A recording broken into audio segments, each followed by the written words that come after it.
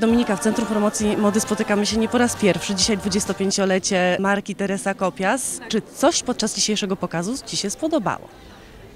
Kolekcja była przepiękna, bardzo wiosenna, bardzo letnia, zmysłowa, bardzo kobieca.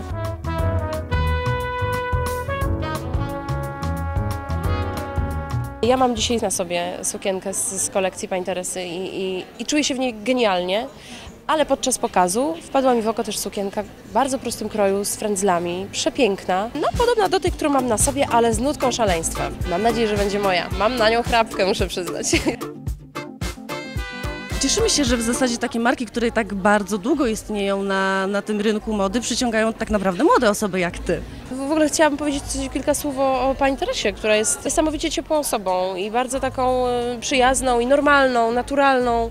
No jest też bardzo kobieca, prawda? I, i, i, fantastycznie wygląda. To wszystko sprawia, że z miłą chęcią przyjeżdżam na pokazy pani Teresy.